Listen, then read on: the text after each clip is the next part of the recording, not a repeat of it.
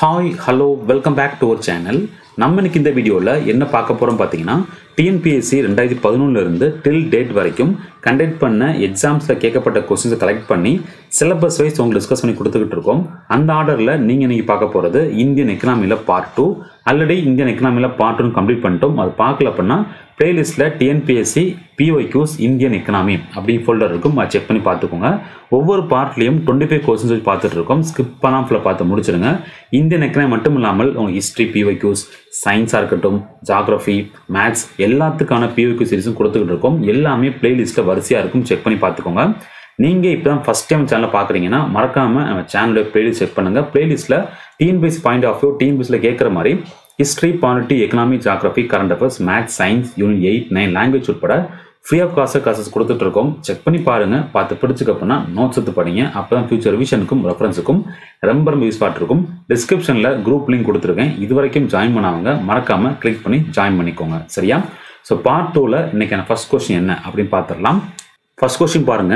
Who are associated with green revolution in India இந்தியாவில் பசுமை புரட்சியை அறிமுகம் செய்தவர்கள் யார் அப்படின்னு கேட்குறாங்க சரியா? வீடியோ பாஸ் பண்ணிட்டு நாலு சாய்ஸும் பார்த்து ஆன்சர் கண்டுபிடிச்சு வச்சுக்கோங்க. இதுக்கு ஆன்சர் பார்த்தீங்கன்னா M S Swaminathan and C Subramaniam அப்படிங்கிற ஆன்சர் இருக்கும். ஸோ கிரீன் ரெவல்யூஷன் அப்படின்னு சொல்கிறாங்க இல்லையா? இதுக்கு இன்னொரு நேம் அப்படி மாதிரி யூஸ் பண்ணிக்கலாம். ஹூ ஆர் அசோசியேட்டட் வித் வேறு மாதிரி பேரோடு யூஸ் பண்ணலாம். எப்படி கேட்கலாம் அப்படின்னு பார்த்தீங்கன்னா தேர்ட் அக்ரிகல்ச்சர் ரெவல்யூஷன் இந்த இடத்துல இல்லையா க்ரீன் ரெவல்யூஷன் இருக்கு இல்லையா?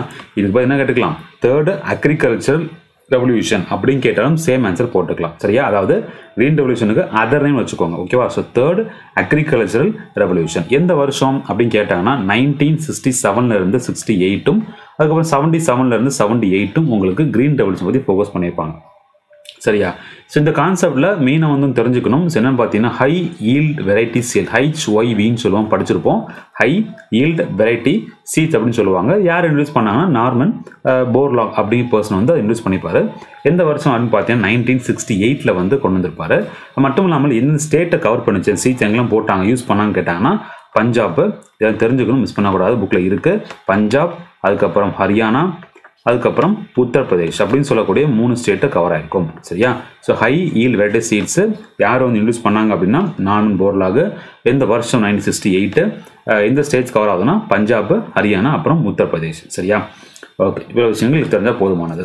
அடுத்த பாருங்கள் next question which committee was constituted to assess the profitability of public centre banks பொதுத்துறை வங்கிகளின் லாபகரத்தை மதிப்பீடு செய்வதற்காக அமைக்கப்பட்ட குழு எது? அப்படின்னு கேட்குறாங்க ஸோ ஈஸி கொஸ்டின் தான் தென் ஆன்சர் நரசிம்மன் கமிட்டி சரியா? கொஸ்டின் புரிஞ்சுக்கணும். ஸோ கொஸ்டின் ஆன்சர் டேட்டா இருக்கும். அது நீ பார்த்து படிச்சுக்கணும். மிச்சம் இருக்க மூணு சாய்ஸ் வரைக்கும் கொடுத்துறேன்.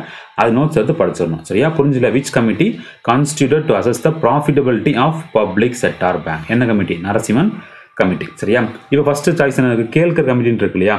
ஸோ கேல்கர் கமிட்டி பொறுத்தவரை என்ன பண்ணுது அப்படின்னு பார்த்தீங்கன்னா பப்ளிக் ப்ரைவேட் பார்ட்னர்ஷிப்பை கரெக்டாக இவால்ட் பண்ணுறதுக்கு இந்த கமிட்டியை போட்டிருப்பாங்க. இதெல்லாம் பப்ளிக்கு அப்புறம் ப்ரைவேட்டு அப்புறம் பார்ட்னர்ஷிப்பு சரி பிபிபின்னு சொல்லுவாங்க. ஸோ எந்த வருஷம் அப்படின்னு கேட்டால் ரெண்டாயிரத்தி பதினஞ்சு.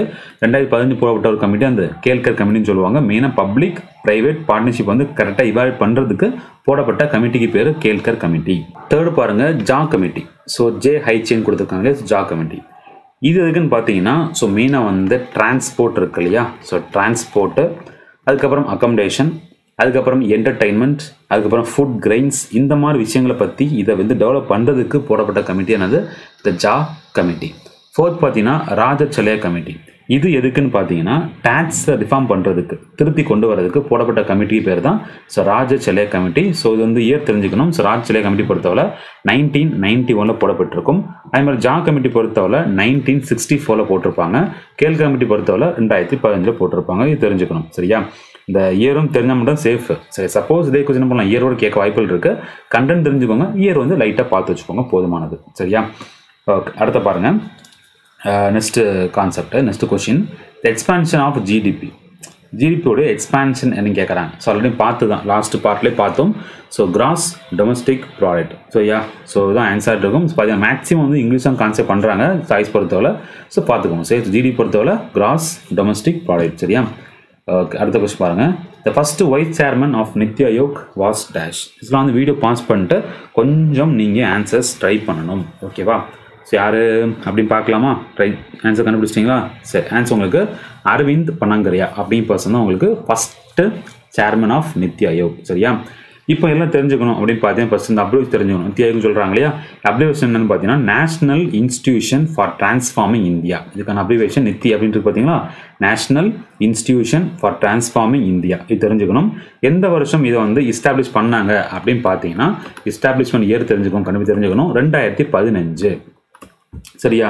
யார் வந்து டெவலப் பண்ணாங்க அப்படின்னு கேட்டாங்கன்னா இல்லை யார் வந்து கொண்டு வந்தாங்க கேட்டாங்கன்னா என்டிஏ அப்படின்னு சொல்லிக்கலாம். அதாவது நேஷ்னல் டெமோக்ராட்டிக் அலைன்சஸ் அப்படின்னு சொல்லுவாங்க. அவங்க வந்து கொண்டு வந்திருப்பாங்க இன்ஸ்டால் பண்ணியிருப்பாங்க. எப்போ ரெண்டாயிரத்தி பதினஞ்சில் சரியா?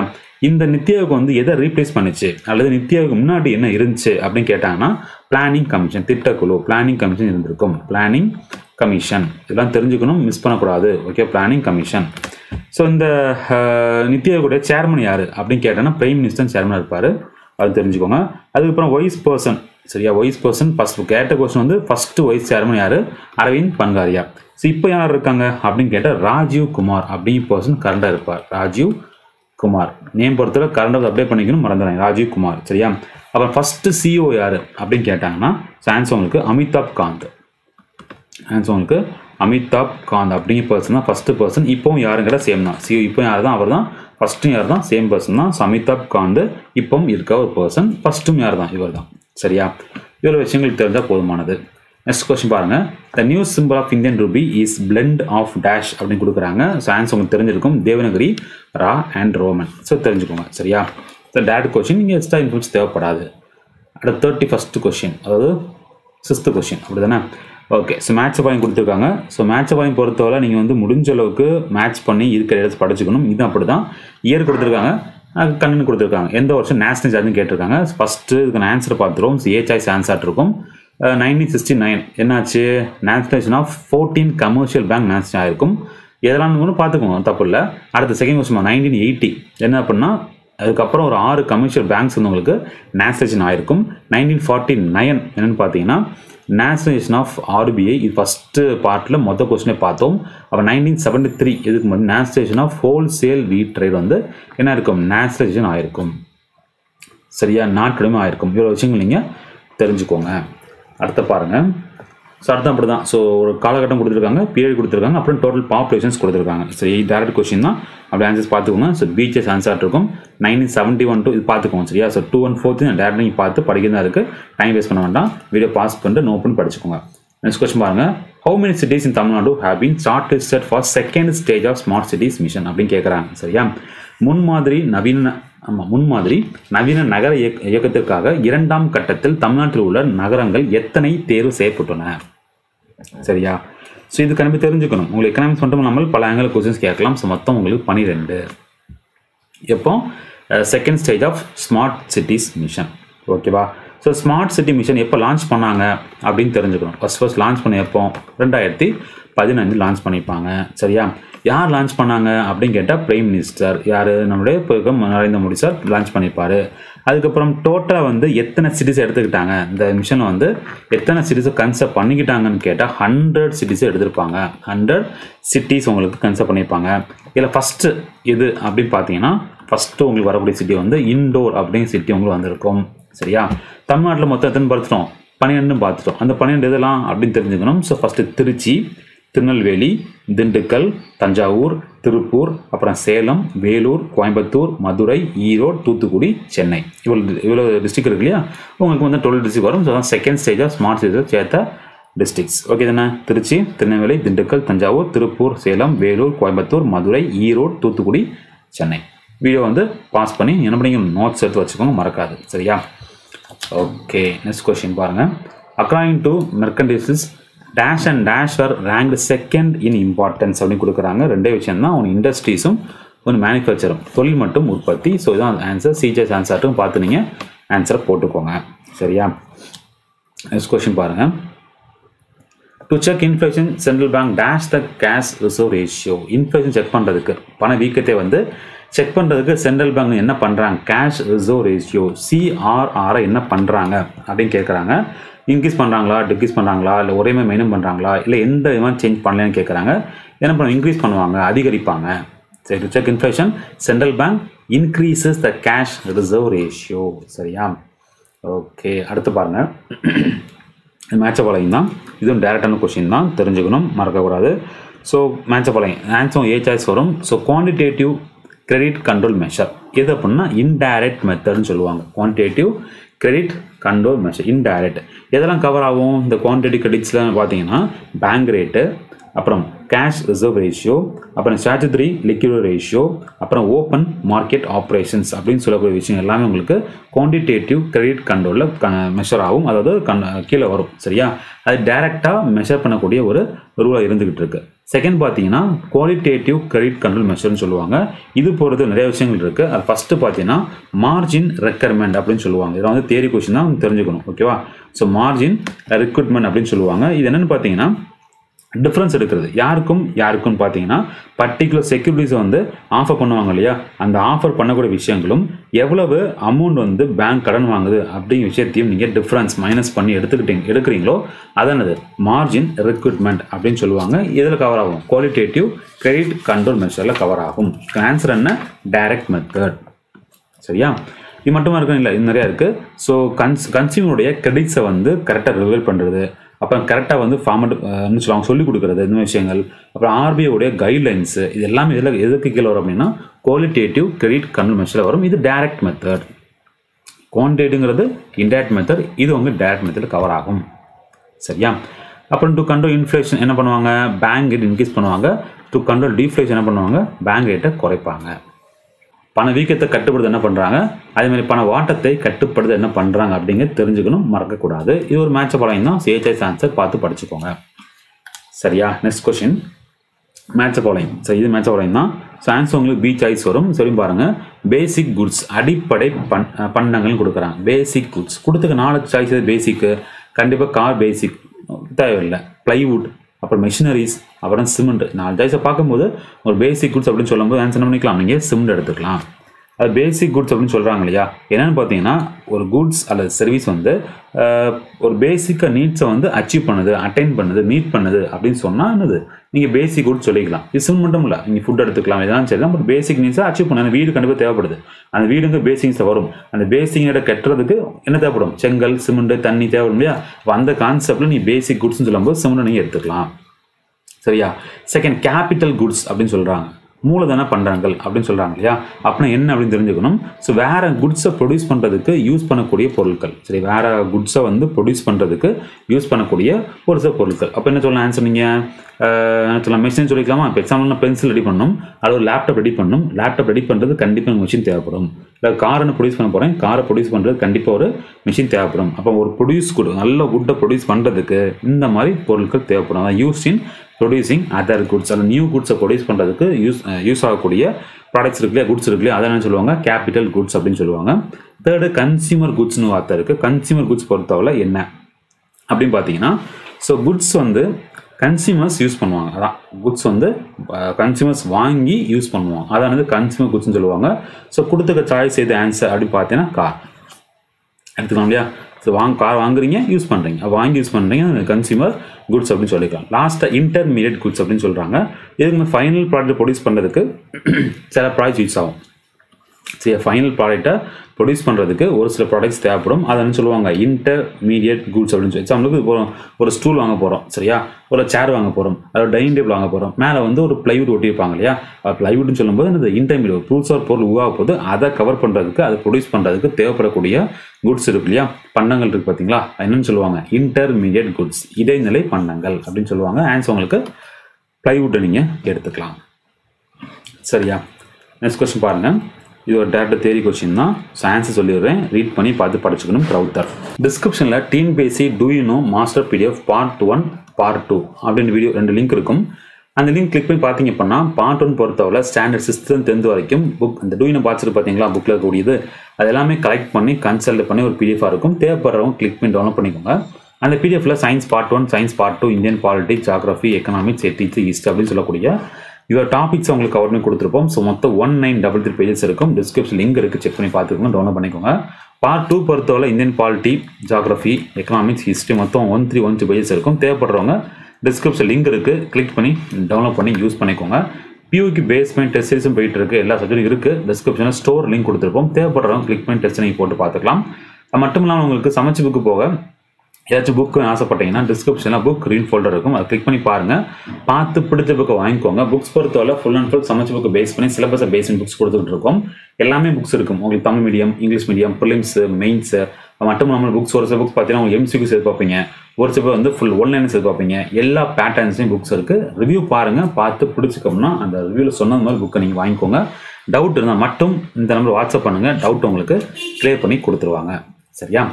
ஓகே நெக்ஸ்ட் கொஸ்டின் பார்ப்போம். ஸோ இந்த கொஸ்டின் ஆன்சர் உங்களுக்கு க்ரௌத்தர் நீங்கள் ரீட் பண்ணி புரிஞ்சுக்கோங்க. இது ரொம்ப சிம்பிள் தான். சரியா? ஒரு தேதி கொஸ்டின் கண்டிப்பாக கேட்குறாங்க பா தெரிஞ்சுக்கோங்க. The decision of to start IMF was taken at dash the decision to start IMF was taken at dash எந்த கான்ஃபரன்ஸில் ஐஎம்எஃப் ஸ்டார்ட் பண்ணும் அப்படின்னு சொல்லக்கூடிய டெசிஷன் எடுத்தாங்க அப்படின்னு கேட்குறாங்க. சரியா? ஸோ ஆன்சர் பார்த்தீங்கன்னா ஸோ பிரிட்டன் வூட்ஸ் கான்ஃபரன்ஸ் அப்படின்னு சொல்கிறாங்க இதான் வந்து ஆன்சர் இருக்கும். சரியா? சரி ஓனாக பார்த்துருவோம். ஃபஸ்ட்டும் இந்த ஐஎம்எஃப் பார்த்தீங்களா? அதுக்கான அப்ரிவேஷன் என்ன அப்படின்னு பார்த்தீங்கன்னா இன்டர்நேஷ்னல் மானிட்டரி ஃபண்ட் அப்படின்னு சொல்லுவாங்க. இன்டர்நேஷ்னல் மானிட்டரி ஃபண்ட் அப்படின்னு சொல்லுவாங்க. எந்த வருஷம் இதை எஸ்டாப்ளிஷ் பண்ணாங்க? எந்த வருஷம் கொண்டு வந்தாங்க? அப்படின்னு பார்த்தீங்கன்னா டிசம்பர் இருபத்தி ஏழு நைன்டீன் ஃபார்ட்டி ஃபைவ் டிசம்பர் இருபத்தி ஏழு நைன்டீன் ஃபார்ட்டி ஃபைவ்ல கொண்டு வந்திருப்பாங்க. அதுக்கப்புறம் ஹெட் குவார்ட்டர்ஸ் எங்கே இருக்குப்பா? அப்படின்னு கேட்டாங்கன்னா யூஎஸ் வாஷிங்டன் டிசி யூஎஸ்ல இருக்குது அது தெரிஞ்சுக்கணும். அந்த ஐஎம்எஃப் உடைய அஃபிஷியல் லாங்குவேஜ் என்ன? அஃபிஷியல் லாங்குவேஜ் என்னன்னு கேட்குறாங்கன்னா உங்களுக்கு இங்கிலீஷ் தான் அந்த IMF அஃபிஷியல் லாங்குவேஜாக இருக்கும். அதுக்கப்புறம் அங்கே இருக்கக்கூடிய மேனேஜிங் டேரக்டர் யார்? இப்போ இருக்க டேரக்டர் யார்? அப்படின்னு பார்த்தீங்கன்னா கிறிஸ்டினா ஜார்ஜிவியா அப்படின்னு பர்சன் இது நேம்ஸ் பொறுத்தவரை கரண்ட் அஃபேர்ஸ் கூட அப்டேட் பண்ணிக்கணும். நான் வீடியோஸ் ரெக்கார்ட் பண்ணும்போது அப்டேட் பண்ணிட்டேன் மேபி ஒரு ஒன் மந்த் ஒரு டூ வீக்ஸ் அல்லது ஒரு ஒன் இயர் சிக்ஸ் மந்த் நீங்கள் பார்க்குறீங்க வீடியோஸ் பார்க்குறீங்கன்னா கண்டிப்பாக சேஞ்ச் ஆகிருக்கும் இந்த மாதிரி நேம் சொன்னால் மட்டும் நான் சொல்லணும் அவசியம் இல்லை. கண்டிப்பாக நீங்கள் என்ன பண்ணிக்கணும்? கரண்ட் அஃபேர்ஸ் கூட அப்டேட் பண்ணிக்கணும். சரியா? இப்போ இருக்க பர்சன் வந்து கிறிஸ்டினா சரியா? கேஆர்ஐஎஸ்டிஏஎல்ஐஎன் கிறிஸ்டினா ஜோர்ஜிவா அப்படிங்கிற பர்சன் இப்போ இருக்கக்கூடியது யார்? மேனேஜிங் டைரக்டர் ஆஃப் ஐஎம்எஃப் சரியா? ஸோ சாய்ஸ் பார்த்துருவோம். சான்சர் பார்த்தீங்க. பிரிட்டன் வூட்ஸ் கான்ஃபரன்ஸ் சொன்னாங்க பார்த்தீங்களா? இதுக்கு இன்னொரு பேரும் இருக்குது என்ன பேர் அப்படின்னா? United Nations monetary and financial conference Bretton Woods conference போட்டுக்கலாம். அல்லது அடுத்து வரக்கூடிய அப்கமிங் எக்ஸாம் கேட்குறாங்க இல்லையா? இதே கொஸ்டின் கேட்டுட்டு இந்த பிரிட்டன் வூட்ஸ் கான்ஃபரன்ஸ் பதில் என்ன போட்டுக்கலாம்? United Nations monetary and financial conference எழுதி வச்சுக்கணும். அப்படிங்கிற பேர் கூட யூஸ் பண்ணி கொஸ்டின் கேட்கலாம் தெரிஞ்சுக்கோங்க. இந்த கான்ஃபரன்ஸை மொத்தம் எத்தனை நேஷன்ஸ் கலந்துக்கிட்டாங்க அப்படிங்கன்னா மெயின் விஷயம் ஏன்னா டெசிஷன் டு ஸ்டார்ட் ஐஎஃப்க்கும் பெரிய விஷயம். அது வந்து எத்தனை நாடுகள் கலந்துக்கிடுச்சு அப்படின்னு பார்த்தீங்கன்னா நாற்பத்தி நாலு நேஷன்ஸ் வந்து கலந்துருக்கும். மொத்தமாக நாற்பத்தி நாலு நாடுகள் வந்து இந்த கான்ஃபரன்ஸில் வந்து இந்த மாநாட்டில் வந்து கலந்துருக்கும். எந்த நாள் எந்த டேட் அப்படின்னு கேட்டிங்கன்னா நைன்டீன் ஃபார்ட்டி ஃபோர் ஆயிரத்தி தொள்ளாயிரத்தி நாற்பத்தி நாலு ஜூலை ஒன்றுலேருந்து ஜூலை இருபத்தெண்டு வரைக்கும் நடந்திருக்கும். ஸோ இயர் தெரிஞ்சுக்கணும் ஆயிரத்தி தொள்ளாயிரத்தி நாற்பத்தி நாலு. சரியா? ஸோ இந்தியாவிலேருந்து மெம்பர்ஸ் போனாங்களா அப்படின்னு கேட்டால் ஆமாம் மெம்பர்ஸ் போனாங்க. யார் யாரெல்லாம் பார்த்தீங்கன்னா ஃபஸ்ட்டு டேஷ்முக் அப்படிங்கிற பர்சன் போயிருப்பார் தெரிஞ்சுக்கணும். அப்புறம் ராய்ஸ்மான் அப்படிங்கிற பர்சன் போயிருப்பார் அப்புறம் கிரீகொரி அப்படிங்கிற பர்சன் போயிருப்பார் சரியா? அப்புறம் சண்முகம் ஷெட்டி அப்படிங்கிற பர்சன் போயிருப்பார் சண்முகம் ஷெட்டி அப்படிங்கிற ஒரு பர்சன் வந்து போயிருப்பார் அதுக்கப்புறம் உங்களுக்கு ஹேட்ஸ்ரஃப் அப்படிங்கிற பர்சன் போயிருப்பார் அப்புறம் மதனுங்கிற பர்சன் போயிருப்பார் ஸோ இவ்வளோ பர்சன்ஸ் போயிருப்பாங்க தெரிஞ்சுக்கணும். ஏன்னா நாற்பத்தாறு நேஷன்ஸ் கலந்துக்கிட்டு ஐஎம்எஃப் எடுக்கணும் ஆரம்பிக்கணும் அப்படின்னு டிசைட் பண்ண ஒரு கான்ஃபரன்ஸை தெரிஞ்சுக்கோங்க. சரியா? ஓகே அடுத்தது வந்து ஜெனிவா கான்ஃபரன்ஸ் பற்றி பார்ப்போம். ஸோ ஜெனிவா கான்ஃபரன்ஸ் பொறுத்தவரை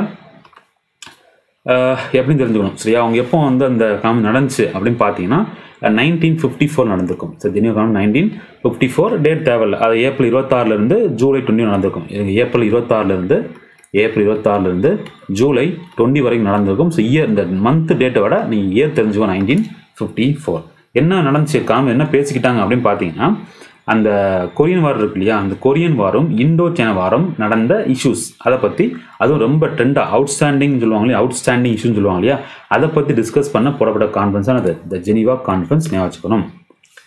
அப்புறம் தேர்ட் சாய்ஸ் பாருங்கள் வேர்ல்டு ட்ரேட் ஆர்கனைசேஷன் டபிள்யூடிஓன்னு வேர்ல்டு ட்ரேட் ஆர்கனைசேஷன் இதனுடைய ஹெட் குவார்டர்ஸ் எங்கே இருக்குது அப்படின்னு கேட்க வாய்ப்புகள் இருக்குது ஹெட் குவார்டர்ஸ் எங்கே இருக்குது சுவிட்சர்லாந்து ஜெனீவா. அது தெரிஞ்சுக்கோங்க மறந்துடுறாங்க எப்போ ஆரம்பிக்கப்பட்டது அப்படின்னு பார்த்தீங்கன்னா நைன்டீன் நைன்டி ஃபைவ் அதாவது ஜனவரி ஒன்று நைன்டீன் நைன்டி ஃபைவ்ல வந்து ஆரம்பிக்கப்பட்டிருக்கும். இதனுடைய ஆர்கனைசேஷன் மொத்தம் மெம்பர்ஸ் கண்ட்ரிஸ் எத்தனை பார்த்தீங்கன்னா நூற்றி அறுபத்தி நாலு. ஒன் சிக்ஸ்டி ஃபோர் கண்ட்ரிஸ் இருக்குது அஃபிஷியல் லாங்குவேஜ் என்ன அப்படின்னு பார்த்தீங்கன்னா இங்கே பார்த்து இங்கிலீஷ் மாதிரி இங்கே என்ன உண்டு இங்கிலீஷ் உண்டு. அதாவது வேர்ல்டு ட்ரேட் ஆர்கனைசேஷனில் இங்கிலீஷ் அப்படிங்கிற லாங்குவேஜ் அஃபிஷியல் லாங்குவேஜ் இருக்குது அதை தாண்டி ஃப்ரெஞ்சு இருக்குது அப்புறம் ஸ்பானிஷ் இருக்குது ஃப்ரெஞ்சும் உண்டு அதுக்கப்புறம் உங்களுக்கு ஸ்பானிஷ் அப்படின்னு சொல்லி லாங்குவேஜும் உங்களுக்கு என்னது? அஃபிஷியல் லாங்குவேஜாக கன்செப்ட் பண்ணிக்கிறாங்க. எங்கே? வேர்ல்டு ட்ரேடு ஆர்கனைசேஷனில் இப்போ லாஸ்ட்டாக பாருங்கள் ஃபாரின் டைரக்ட் இன்வெஸ்ட்மெண்ட் ஷார்ட்டாக எஃப்டிஐன்னு சொல்லிக்கலாம். எஃப்டிஐ பொறுத்தவரை எதுக்குன்னு பார்த்தீங்கன்னா நான் ஒரு ஒரு கண்ட்ரிக்கு ஒரு கண்ட்ரியோ பக்கத்து நாடோ ஏதாச்சும் ஒன்று சரியா? பக்கத்து ஸ்டேட்லேயோ இன்வெஸ்ட் பண்ணுறேன் சரியா? இன்வெஸ்ட் பண்ணுறது மூலியமாட்ட அங்கே இருக்கக்கூடிய ஓனர்ஷிப்பை வந்து என்னுடைய கண்ட்ரோலுக்கு கீழ் கொண்டு வந்துட்டேன். பக்கத்து நாட்டிலையோ இல்லை பக்கத்து ஸ்டேட்லேயோ நான் வந்து இன்வெஸ்ட் பண்ணுறேன் இன்வெஸ்ட் பண்ணுறதுனால அந்த நாட்டிலையோ அந்த ஸ்டேட்லேயோ இருக்கக்கூடிய ஓனர்ஷிப்பு நான் தான் கண்ட்ரோல் நான் தான் ஹெட் நான் தளபதி அப்படின்னு சொல்லி மாறுது பார்த்தீங்களா அந்த பிஸ்னஸ் மாறும் பார்த்தீங்களா அதை என்னென்னு சொல்லுவாங்க ஃபாரின் டைரக்ட் இன்வெஸ்ட்மெண்ட் எஃப்டிஐ அப்படின்னு சொல்லுவாங்க. எப்போது ஆரம்பிக்கப்பட்டது அப்படின்னு கேட்டாங்கன்னா நைன்டீன் நைன்டி ஒனில் வந்து இது ஆரம்பிக்கப்பட்டிருக்கும். எந்த கண்ட்ரோலுக்குள்ள வரும் அப்படின்னு பார்த்தீங்கன்னா ஃபெமா இந்த ஆரம்பிக்கப்பட்டு பார்த்தீங்கன்னா ஆரம்பிக்கும் போது என்ன ஆக்ட்னா எஃப்இஎம்ஏன்னு சொல்லுவாங்க. ஃபெமா ஆக்ட்னு சொல்லுவாங்க. அல்லது foreign exchange management act FEMA அப்படிங்கிறது அப்ளிகேஷன் வந்து foreign exchange management act nineteen ninety ஒனில் போடப்பட்டிருக்கும். அதன்படி இந்த ஃபாரின் டைரக்ட் இன்வெஸ்ட்மெண்ட் வந்து ஆரம்பிக்கப்பட்டிருக்கும். இன்வெஸ்ட் பண்ணுறேன் இன்வெஸ்ட் பண்ணுறது மூலியமாட்டு நான் வந்து அந்த full control full ownership control எடுத்துக்கிட்டேன்னா அதனது ஃபாரின் டைரக்ட் இன்வெஸ்ட்மெண்ட்ஸ் சரியா? நெக்ஸ்ட் கொஸ்டின் பாருங்க. The first human development report was published in 1990 by UNDP under the guidance of Dash an eminent economist அப்படின்னு கொடுக்குறாங்க. சரி யாருன்னா முகுப் உல் ஹவ் அப்படிங்கிற பர்சன் தான் இருக்கும். சரியா? ஓகே இந்த ஹைச்டிஆர் ஹியூமன் டெவலப்மெண்ட் ரிப்போர்ட் வந்து நைன் நைன்டி பப்ளிஷ் பண்ணியிருக்காங்க. பட் எல்லா வருஷமும் பப்ளிஷ் பண்ணுவாங்க தெரிஞ்சுக்கணும். எல்லா வருஷமும் இதை பப்ளிஷ் பண்ணுவோம் தெரிஞ்சுக்கணும். அதுக்கப்புறம் யூஎன்டிபின்னு இருக்கு பார்த்தீங்களா அதுக்கு அப்ரிவேஷன் என்ன அப்படின்னு தெரிஞ்சுக்கணும். United Nations development programme United Nations development programme அப்படிங்கிறது தெரிஞ்சுக்கோங்க. பர்சன் பேர் முகப் உல் ஹவ். சரியா? ஹக்க தமிழ் போட்டுக்கோம் பார்த்துக்கோங்க சரி ஸ்பெல்லிங் பார்த்துக்குவோம் மறந்துடாங்க next question minimum wages act was passed இந்த இயர் டேஷ் எந்த வருஷம்? இந்த குறைந்தபட்ச கூலி கூ- சட்டம் அறிமுகப்படுத்தப்பட்ட ஆண்டு எது? அப்படின்னு கேட்குறாங்க ஸோ நைன்டீன் ஃபார்ட்டி எயிட் ஆயிரத்தி தொள்ளாயிரத்தி நாற்பத்தி எட்டு. சரியா? ஸோ மந்த்து டேட்டு கேட்டாங்கன்னா எழுதிக்கலாம். மார்ச் ஃபிஃப்டீன் சரியா? நெக்ஸ்ட் பாருங்க. Which are following is and indirect tax பின்வருவற்றுள் எது மறைமுக வரின்னு கேட்குறாங்க சரியா? ஸோ டேரக்ட் டேக்ஸ் பொறுத்தவரை டேரெக்டாக நீங்கள் கவர்மெண்ட் பே பண்ணுவீங்க. இன்கம் டேக்ஸாக இருக்கட்டும் இல்லை கார்பரேஷன் டேக்ஸாக இருக்கட்டும் இல்லை ப்ராப்பர்ட்டி டேக்ஸாக இருக்கட்டும் இல்லை வெஹிக்கிள் டேக்ஸாக டேக்ஸாக இருக்கட்டும் இல்லை கிஃப்ட் டேக்ஸாக இருக்கட்டும் நீங்கள் டேரெக்டாக கவர்மெண்ட் பே பண்ணிங்கன்னா டேரக்ட் டேக்ஸ் வெல்த் சொத்து வரி நீங்கள் பே பண்ணிடுவீங்க. எக்ஸ்பெண்டிச்சர் டேக்ஸ் செலவு வரி நீங்கள் தான் பே பண்ணுறீங்க டேரெக்டாக ஸோ போயிடும் இன்கம் டேக்ஸ் கண்டிப்பாக நீங்கள் உங்கள் இன்கம் வந்து டேரெக்டாக கவர்மெண்ட் பே பண்ணிடுவீங்க. சர்வீஸ் டேக்ஸ் அப்படி நீங்கள் பே பண்ண மாட்டீங்க. இப்போ எக்ஸாம்பிளுக்கு ஹோட்டலில் போய் சாப்பிட போகிறீங்க ஸோ யாராச்சும் ஒருத்தர் இன்னொருத்தர் தான் பே பண்ண போகிறார் நீங்கள் சாப்பிட்டதுக்கு இன்னொருத்தர் பே பண்ணுறாரு ஸோ அதானது இன்டைரக்ட் டேக்ஸ் மறைமுக வரி சர்வீஸ் டேக்ஸ்ங்கிறது eh, உங்களுக்கு என்னது? இன்டைரக்ட் டேக்ஸ் கீழே வரக்கூடிய விஷயம். எதிரான டேரக்ட் டேரக்ட் எதிராக இன்டைரக்ட் டேக்ஸ் அப்படிங்கிறது புக்கில் இருக்குது சவுண்ட் போல் இருக்கும். நான் டிஸ்கஷன் கொடுத்துட்டேன். டிஸ்கிரிப்ஷனில் வந்து உங்களுக்கு சமச்சீர் எக்கனாமிக்ஸ்னு ஃபோல்டர் இருக்கும். அது செக் பண்ணிங்கன்னா இது வரைக்கும் பப்ளிஷ் பண்ண எல்லா எக்கனாமிக்ஸ் லெசன்ஸும் சமச்சீர் புக்கில் வந்து ஏ டு இசட் இருக்கும். செக் பண்ணி பார்த்து படிச்சுக்கோங்க. சரியா?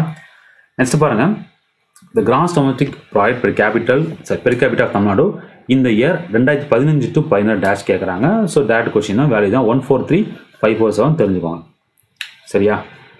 ஓகே நெக்ஸ்ட்டு பார்த்தீங்கன்னா which are the following is not a problem in estimating national income of India எது ப்ராப்ளம் இல்லைன்னு கேட்குறாங்க சரியா? டபுள் கவுண்டிங் நேஷனல் இன்கம் எடுத்துகிட்டு இருக்கீங்க அப்போ நீங்கள் டபுள் டைம் கவுண்ட் பண்ணுறீங்க கண்டிப்பாக பிரச்சனை தான். ஒன்றுமே இல்லை. கிளாஸில் பத்து பேர் இருக்காங்க. எத்தனை ஸ்வீட்ஸ் பார்த்து அப்படின்னு கேட்குறாங்க நீ கவுண்ட் போகிறீங்க சரியா?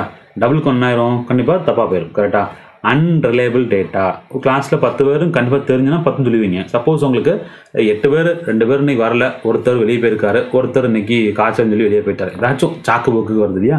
அது என்னது? அன்ரிலையபிள் டேட்டா கரெக்டான டேட்டா இல்லை. நண்பகத்தன்மை புள்ளி வரங்கள் தராமல் இருக்கு பார்த்தீங்களா அதான் அன்ரிலையபிள் டேட்டா இருந்தாலும் உங்களுக்கு என்ன செய்ய முடியாது. நேஷ் இன்கம்த்தை கரெக்டாக நீங்கள் கணக்கெடுக்க முடியாது. அன் அக்கௌண்ட் இன்கம் கணக்கில் காட்டாமல் இன்கம் இருக்கும். சில பிள்ளைங்க ஸ்கூல் ஜாயின் பண்ணுவாங்க. ஆனால் நேம் லிஸ்ட் இருக்காது. ஆனால் படிச்சுட்டு இருப்பாங்க. அந்த காலத்தில் இருக்குது ஸோ அன்கவுண்டட் ஸோ கணக்கில் காட்டப்படாத வருவாய். அது இருந்தாலும் உங்களுக்கு செய்ய முடியாது கரெக்டாக நேஷ் இன்கம் நீங்கள் கண்டுபிடிக்க முடியாது. Presence of large number of enterprises இது பிரச்சனையே இல்லை. எத்தனை இருந்துட்டு போட்டோம். ஆனால் கரெக்டாக தான் சரி தான் எத்தனை இருந்து போட்டோம். இந்த மாதிரி டபுள் கவுண்டிங் இல்லாமல் அன் அக்கௌண்ட் இன்கம் இல்லாமல் அன் ரிலேபிள் டேட்டா இல்லாமல் கரெக்டாக எத்தனை நாள் இருந்தாலும் சரி தான் எனக்கு என்ன பண்ணலாம்? ப்ராப்பராக இன்கம் கண்டுபிடிக்கலாம். ஸோ ஆன்சர் வந்து presence of large number of enterprises அதிக எண்ணிக்கையிலான நிறுவனங்கள் இருந்தாலும் நான் என்ன பண்ணுவேன்? நேஷ் இன்கம் தான் கண்டுபிடிக்க முடியும். அதான் கேட்குறான் நாட் அ ப்ராப்ளம் இது இருக்கனால ப்ராப்ளம் கிடையாது. ஆனால் இதுதான் இருந்துச்சுன்னா ப்ராப்ளம் சரியா?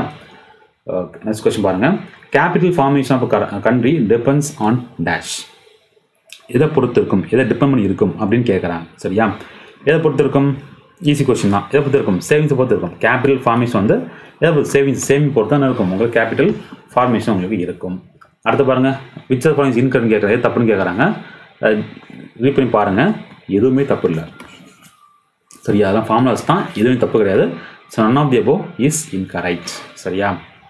Next question mass poverty in developing countries is use to சரியா? வளரும் நாடுகளில் அதிக அளவு வறுமை ஏற்பட காரணம் என்ன? இது இன்அடிக்வேட் டெவலப் ரிசோர்சஸ் எல்லாம் ஆரம்பிச்சிருவாங்க. ஒழுங்கான வளங்கள் இருக்காது. லோ பெர் கேபிட் இன்கம் சரியா? ஸோ குறைந்த அளவு தர வருமானம். அப்புறம் ஹெவி பாப்புலேஷன் ப்ரெஷர் டென்சிட்டி அடர்த்தி ஜாஸ்தியாக இருக்கும். அப்படி இருந்தாலும் உங்களுக்கு என்னதான்? மாஸ் பாவர்ட்டி வரதான் செய்யும். சரியா? வறுமை வந்து வரதான் செய்யும். ஸோ ஆன்சர் உங்களுக்கு all the above D choice உங்களுக்கு ஆன்சர்ட்டு வரும். Forty eight modified national agriculture insurance scheme was launch in India during the period of dash கேட்குறாங்க சரியா? ஓகே மாற்றியமைக்கப்பட்ட தேசிய விவசாய பாதுகாப்பு திட்டம் இந்தியாவில் எப்போ அறிமுகப்படுத்தப்பட்டது.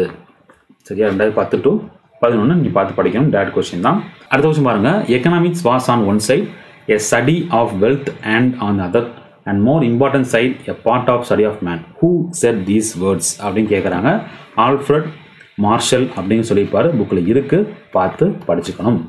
சரியா? நெக்ஸ்ட் கொஷின் லாஸ்ட் கொஷின் இந்த வீடியோக்கு.